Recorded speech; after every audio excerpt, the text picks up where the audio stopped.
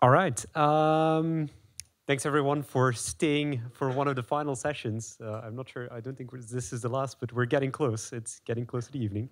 Um, and I would love to talk to you uh, about something that we're quite passionate about, which is uh, the, the level of breakage in the industry. And a couple of people have mentioned it already today.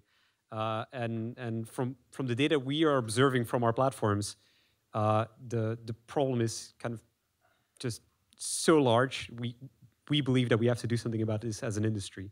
So what you're looking at is a graph that is showing um, the, the percentage of bids that are won that do not result in an impression. This is for video, right?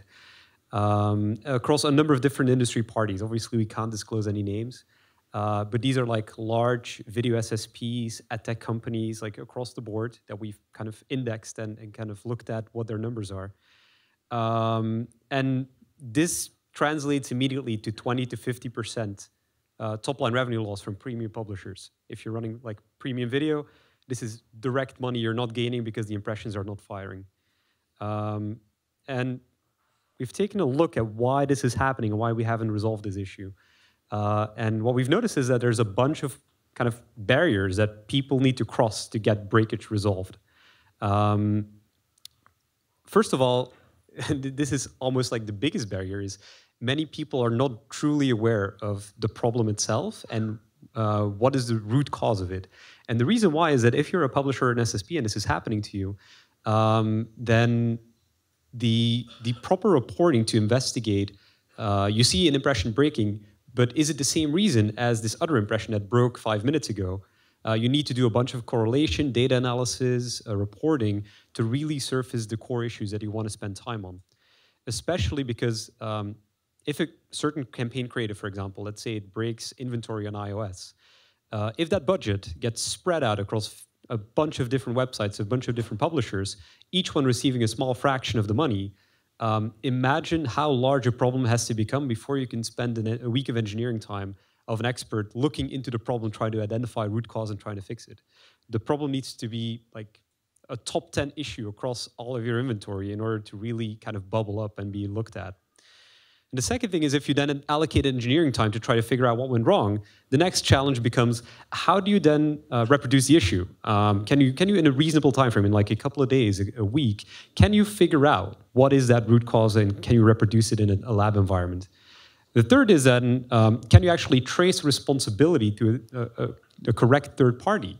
Because um, there might be four or five different parties involved, and when an error gets thrown out of your ad, who actually was causing that error. That's oftentimes totally opaque and important to understand because then you go to the next stage. You need to contact that third party and need to prove to them that they're causing it, uh, which can be a big hurdle to cross. Like they will deny responsibility until you have irrefutable proof that it's them. And then finally, it needs to be embarrassing enough for them to actually do something about it because they might just say, oh, well, look at this a year and a half from now. And then you're back to square one. And, and the reality is that we've kind of accepted that this is normal. Like th th this is okay. This is how we work, and and this is totally unacceptable. We feel we it's irresponsible of us not to address this. Um, so we believe there are a couple of things we can do as an industry to fix this, right? Uh, and some of them are obvious. Some of them will take a bit more work.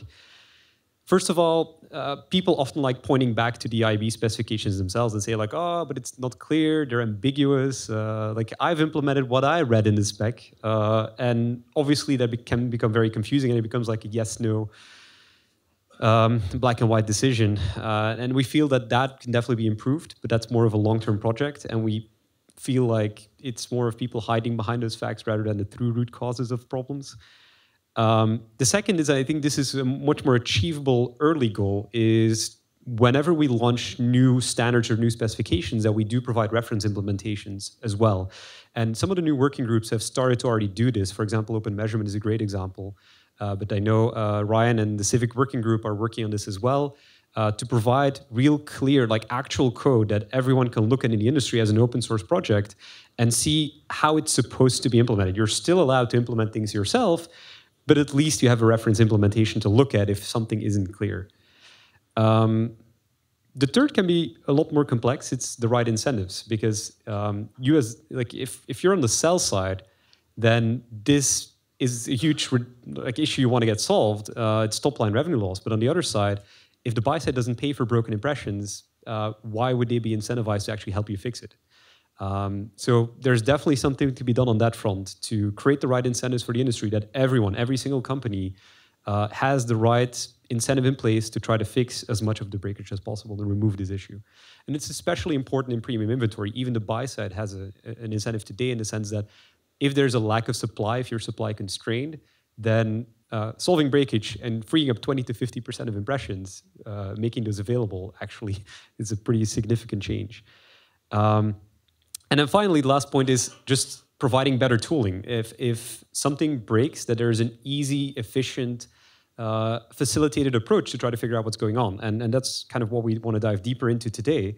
Um, because as you know, there's a bunch of these uh, testing tools out there, uh, including for VAST, for video ads, and a number of different companies, including uh, Google has one, JW Player has one, like a bunch of different companies provide these tools. But there is no uh, tool that is provided by the IAB to the community as an open source project. Uh, if your ad works in one tester but not in the other, uh, it can be difficult to try to figure out like what that causes, why that's happening, and what you should do about it.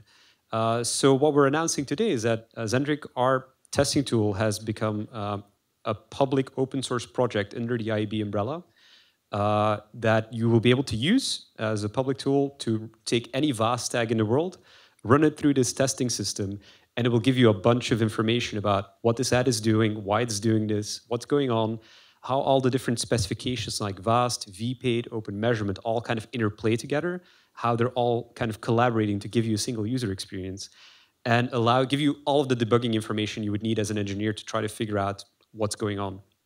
Um, so we're making this open source uh, because we feel that everybody in the industry should be able to contribute back to that. Like I want to make clear, this is not something where we as Zentrick say, "Oh, we'll maintain this and we'll we'll just run it under the IAB umbrella."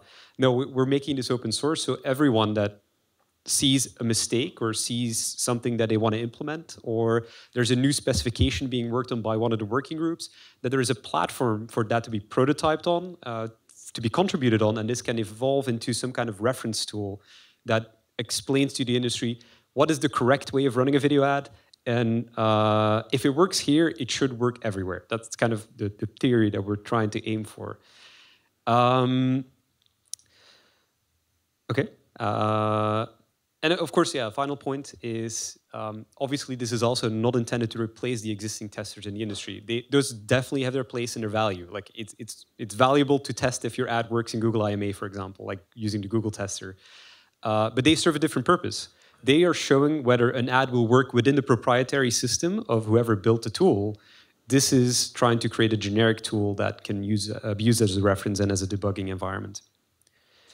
Um, so we're going to look at, a, at an example, at a demo, but what does this tool support today? So feel free for the community to add contributions, but currently it supports VAST uh, ads, it supports VPAID, it supports open measurement, so OMID for web is included. It's, as far as I'm aware, the first test tool in market that supports open measurement as a demonstration case. Um, and it will do a couple of things for you. It will analyze the VAST tag, like the, the content of your VAST file, and will kind of render it for you on the screen so you can see the structure of your VAST ad. It will trace all these VAST, VPAID, OMID, uh, and other lifecycle events so it can kind of tell you what's going on during the playback of the ad. And um, it allows you to inspect the state of all these specifications in real time. So you'll see exactly what state open measurement is in, what it's trying to tell your ad, what is going on, and the same for VPAID and VAST. Uh, it's also cross-browser, so you can run this on mobile devices, you can run this on your desktop, you can run this anywhere, basically. And um, you can, uh, there's an interesting feature where it allows you to download a trace. Like, let's say you tested an ad and it didn't do something correctly. It allows you to download a full trace of everything that happened in that ad experience and send it to someone else.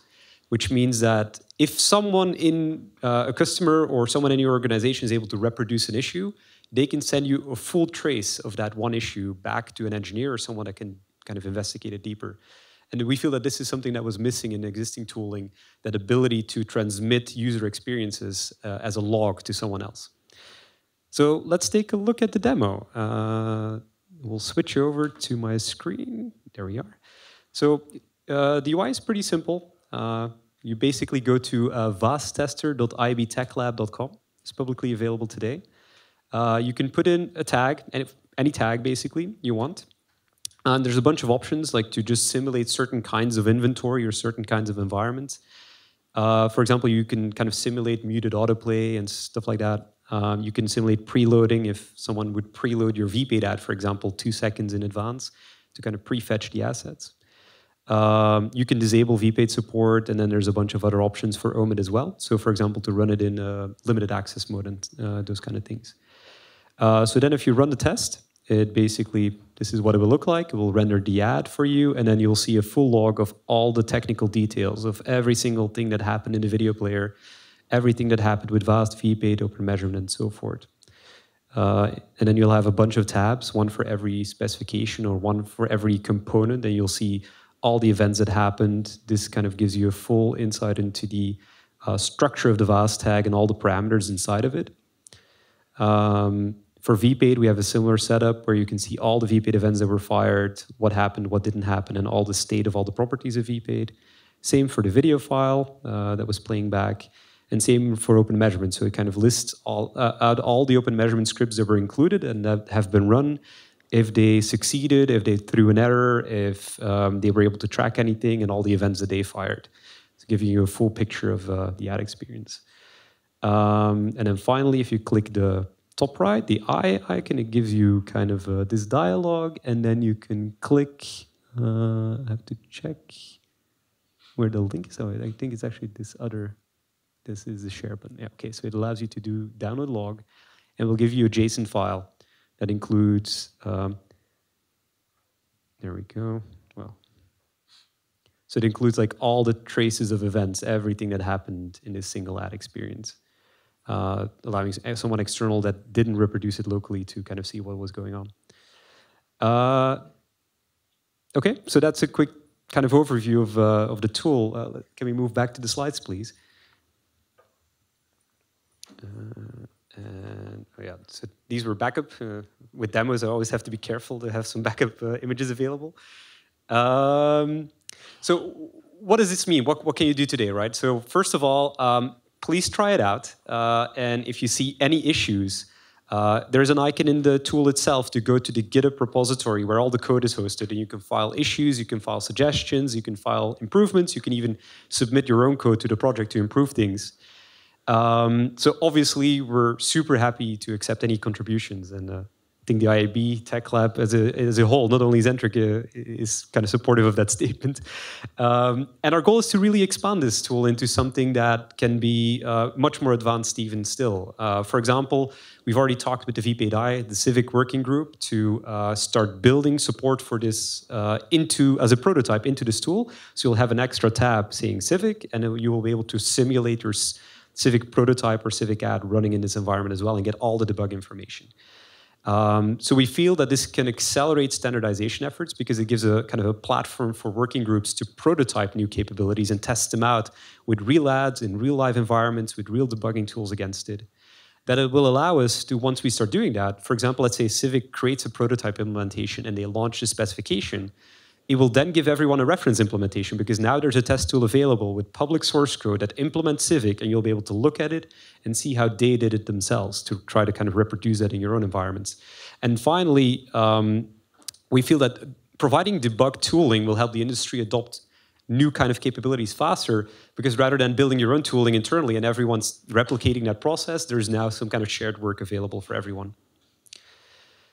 Uh, there's even more to come. So this was kind of our contribution today, but we feel like debugging tools are great, but automating uh, breakage resolution is even better. So we're working actually on a platform that will uh, that will do this. Uh, you can sign up for uh, to hear about those announcements when they come out next quarter, we'll, where we'll be launching a beta program for that. And if you're interested in fixing breakage, come and talk to us. there's a bunch of resources that you can use, like around so the VAST tester itself, the, the code uh, that you can look at open source. There's a bunch of existing um, kind of pages from the IAB, like their tag validator. There's specs available, the XSD, the XML schema that you can look at. There's sample files available. And of course, all the specifications themselves for vPaid and open measurement. So those are all valuable resources to take a look at if you're interested in this stuff. Uh, and that's it. Thank you very much.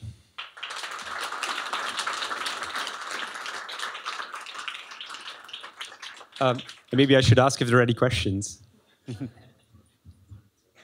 um, and we should probably have a microphone then. Wait. Oh, there we have someone. Yes. Oh, there we go. There we go. Yeah. Um, so I'm not super familiar with the open source, so what's allowed and what's not allowed. It, would this code be viable for a publisher to actually adopt it as the basis of a new player without issue? So the the you could do that. So it's definitely possible, and we want to go for that modular modularization. That it would actually be possible for someone to kind of just take that SIVIC code, for example, that SIVIC implementation we just talked about, and plug it into their existing player, and just okay, they would have to have their existing player talk to this code, but it would be more kind of it would be easier and faster implementing your own version of it, and that could actually be a very nice way to move into kind of a next phase where if the industry has reference implementations, unless you have a solid reason to want to implement things yourself, it might actually be easier to just use the reference implementation and know that things are going to work correctly. Um, so that's definitely one of the aspects that we're trying to aim for. But I also have to kind of, um, the footnote there is that the, the main purpose for the implementation today is to provide all this debugging information. So the code itself has a bunch of hooks to hook into every single thing that's happening to provide you with all this debug information on the screen. So uh, someone that wants to use it in production would probably want to strip those kind of debugging things out uh, so that they have more efficient uh, code setup. Yep. Hope that helps. Uh, yep. um, I think you got the biggest applause of the day. Thank you. Um, but uh, I'm over here. Yeah. Um, Sorry, yeah, behind the pillar. Did um, does it allow you to see multiple wrappers of embedded VAST within embedded VAST within embedded VAST, and, and how does it go about doing that? Sure. Um, that's a great question, by the way. Um, so the answer is right now it will surface the vast, like the, the first layer.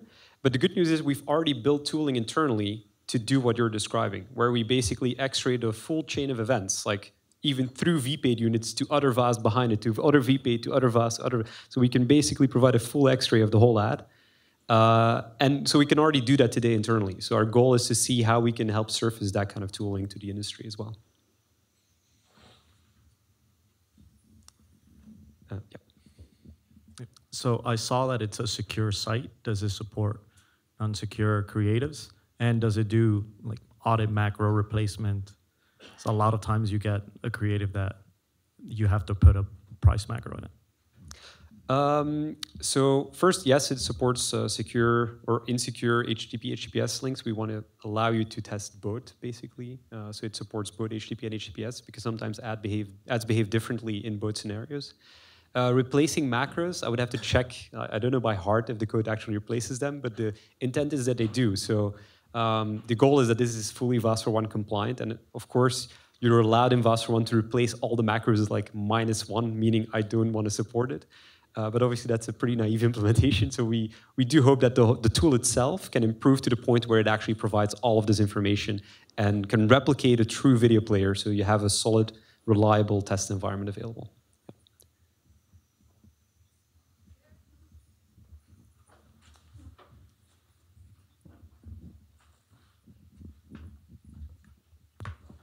Hey, this looks like a great tool. I'm curious about the future state of, so there's an automated version you're working on. So I was curious, is this something that would hook into a live player and get error information live from your site? Or is this more like a pre-QA where you'd sort of point it at a number, like a, a batch file of creatives?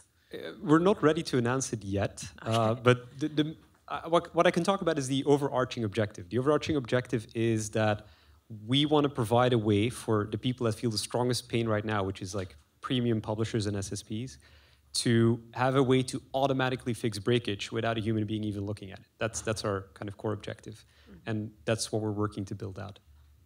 Great.